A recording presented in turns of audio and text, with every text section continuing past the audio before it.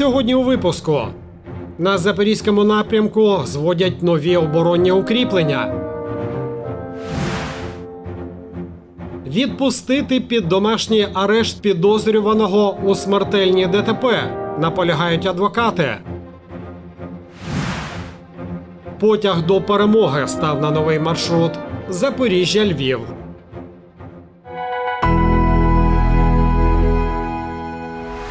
«150 тонн зерна знищено на складі у селі Микильське Пологівського району. Російські військові поцілили по одному із фермерських господарств. Загалом за дві минулі доби до обласного управління Нацполіції надійшло 30 повідомлень про руйнування об'єктів цивільної інфраструктури у Пологівському та Запорізькому районах. У Гуляйполі пошкоджені житлові будинки, вибиті вікна та потрощені двері. Внаслідок прямого влучання снарядів в деяких будинках зруйновані дахи, стіни та фасади. Неподалік селища Комишуваха Запорізького району окупанти обстріляли приватне підприємство. Там розбито приміщення.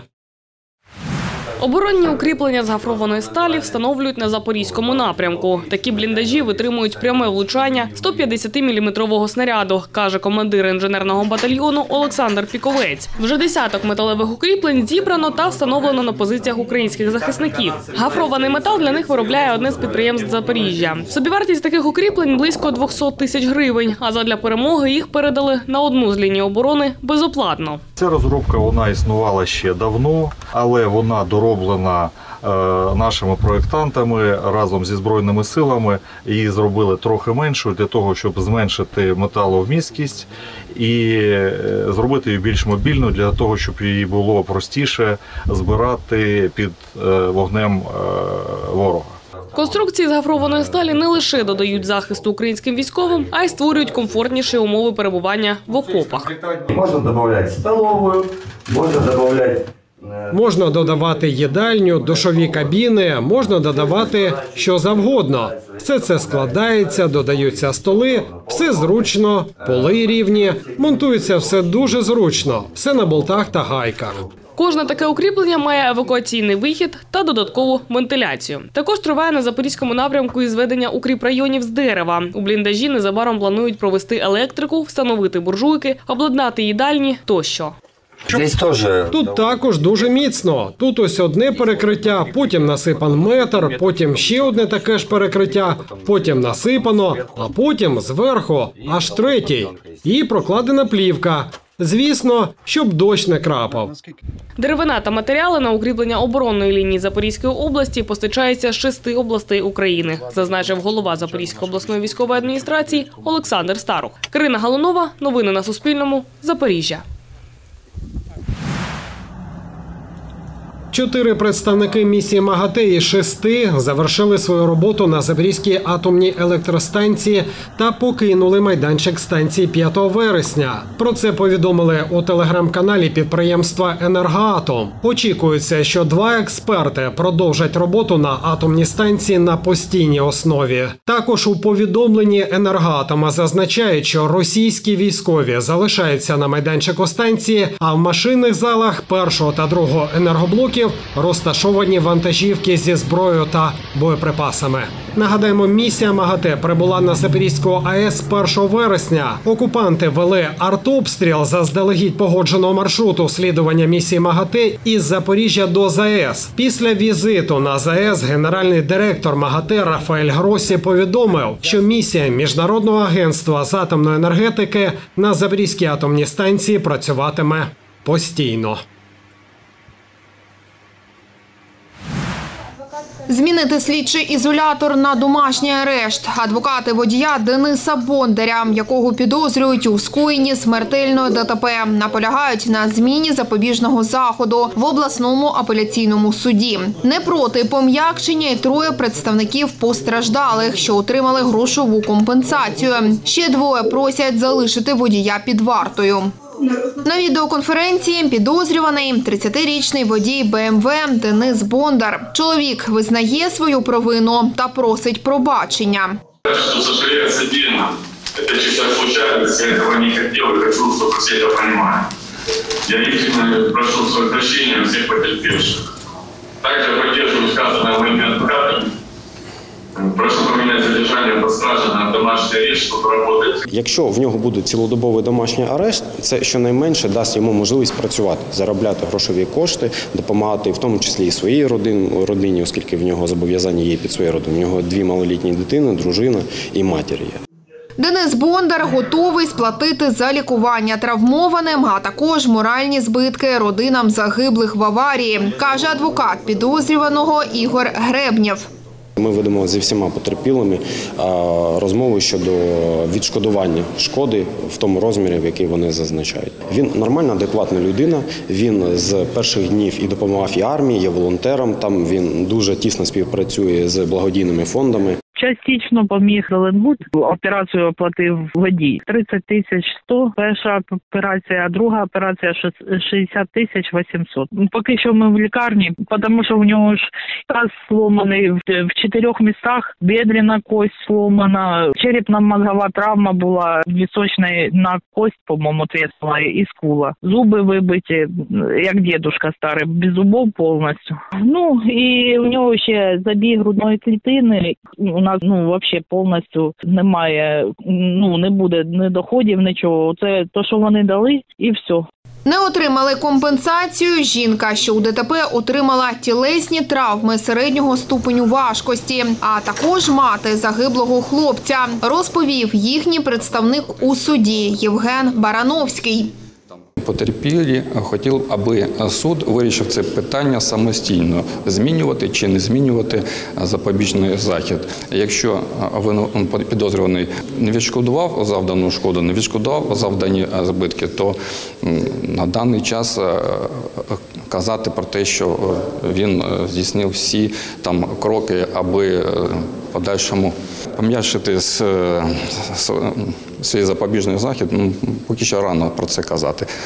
За клопотанням адвоката водія Дениса Бондаря у судовому засіданні щодо пом'якшення запобіжного заходу оголошена перерва до 12 вересня. Нагадаємо, 30-річний водій БМВ Денис Бондар підозрюється у вчиненні ДТП. Аварія сталася 28 липня на вулиці Європейській у Комунарському районі міста. Одна людина загинула на місці, двоє померли у лікарні. Ще двоє людей отримали важкі травми. Якщо провину водія доведуть, йому загрожуватиме покарання від 5 до 10 років ув'язнення, а також позбавлення водійських прав на 3 роки. Альона Анталуха, Андрій Варіонов. Новини на Суспільному. Запоріжжя.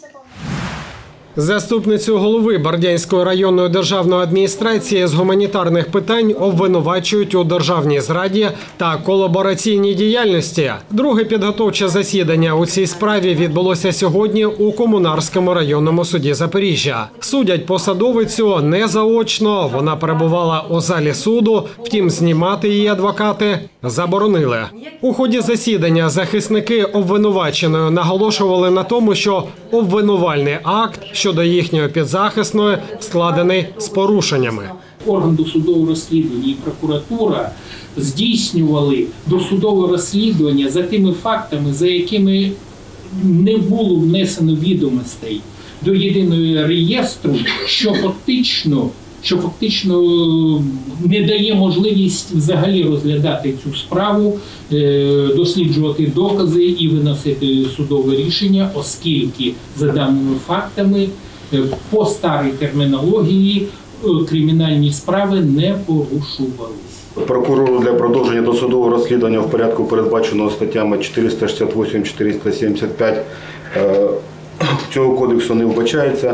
Немає підстав також для закриття провадження. Обвинувальний акт відповідає вимогам е, Кримінального кодексу України і підстави для повернення відсутні. Також під час судового засідання сторона захисту подала клопотання щодо витребування документів по справі. Ми просимо також розглянути питання щодо витребування руху кримінального провадження, враховуючи, що дві підозри, які були висунуті мої підзахисні, висунуті в межах різних кримінальних проваджень. коли є суддів ухвалила. Клопотання захисника обвинуваченого адвоката Шостак задовольнити, витребувати Запорізької обласної прокуратури відомості на паперових, в тому числі скріншоти або електронних носіях з єдиного реєстру досудових розслідувань щодо руху кримінального провадження. За даними слідства, навесні посадовиця погодилася допомагати окупантам, зокрема обійняла псевдопосаду заступника голови Бордянського району Запорізької області, здійснювала пошук та узагальнення інформації щодо надзвичайних ситуацій та подій, роботи банківської системи, наявності паливно-мастильних матеріалів на окупованій території. Співробітники СБУ затримали її 22 березня при спробі перетину блокпоста у напрямку Запоріжжя. Нині вона перебуває у СІЗО. Наступне судове засідання призначене на 8 вересня. У Запоріжжі розпочала навчальний рік родина переселенців із прифронтового села Полтавка, що неподалік міста Гуляйполе у Пологівському районі. Мама, вчителька математики сільської школи Наталія Заїченко, разом із іншими навчає й власних дітей. Пишемо е, робочий зошит та, і вияснимо, з яким підручником будемо працювати і де його взяти. Вчителька Наталія Заїченко розпочинає урок математики у приватному будинку на околиці Запоріжжя. На зв'язок вийшло шестеро дітей із десяти, але уроки тривають у всіх трьох кімнатах будинку. Мама вчителька перед ноутбуком у спальні, син восьмикласник з планшетом у залі, на кухні з мобільним телефоном, донька третьокласниця. Чому я чую ваш голос у сусідній кімнаті? Е, В сусідній кімнаті навчається мій син. У нього зараз також був урок математики, е, і цю математику в нього читаю я. Е, Звичайно, можна було посадити його біля себе і розповідати. Так було б йому зручніше, але ж іде е, конкуренція в класі. А чому він не виходив до всіх? Тому що так мені його видно, а решті може бути не видно. Синові Євгену мама викладає математику і фізику. Мама вчителька, це зручно? Ну так, да, тому що може допомогти з завданнями або підсказати щось. Донька Настя другий рік поспіль разом із мамою вивчає інформатику. Мама підказує, як е, поводитися з комп'ютером і як навчатися онлайн. Да. Ну, вона розказала, як його включати і як настроїть програму. У родині переселенців із Полтавки не планували залишатися в Запоріжжі до нового навчального року. 22 березня, коли розпочались інтенсивні обстріли міста Гуляйполе та навколишніх сіл, мама з двома дітьми переїхала до родичів в обласний центр. Каже, планувала незабаром повернутися додому, але тут довелось завершувати навчальний рік і восени розпочинати новий. Втім, жінка радіє, що вдалося зберегти педагогічний та учнівський склад рідної школи. З 73 дітей у дистанційному режимі зараз навчаються 52. Не всі е, дітки в Запоріжжі навчаються, деякі дітки за кордоном, але вони залишилися в нашій школі і навчаються е, е, з нашими вчителями. В Запорожжі е, дуже гарно, але вдома лучше. Вдома там, в Полтавці? Так. Да. Там все було, там тихо було, без поїздів, без нічого. Красиво в селі. Угу. Хтось залишився з рідних там? Ну, да, дядя стався. Середню школу у Полтавці російські війська розбомбили ще у травні. Однак у родині сподіваються, що завершуватимуть навчання саме там, у відремонтованій шкільній будівлі в рідному селі, звільненому від загарбників. Ольга Ларіонова, Олег Стригунов. Новини на Суспільному. Запоріжжя.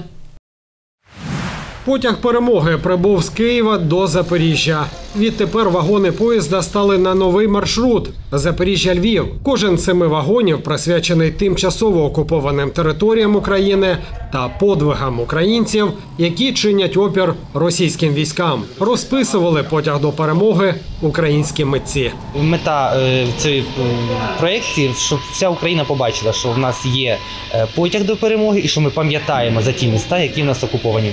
Ось є е, вагон е, Запоріжжя е, Енергодар, присвячений він Енергодару. Це людям, які чинили спротив голими руками танкам. І так кожен вагон, там є і вагон е, Харківщини, е, де залізні люди, це провідники, які перевозили пасажирів із Харкова, евакуйовували, допомагали. Нагадаємо, Укрзалізниця запустила потяг до перемоги з нагоди Дня Незалежності України. Спочатку він курсував за маршрутом Київ-Ужгород.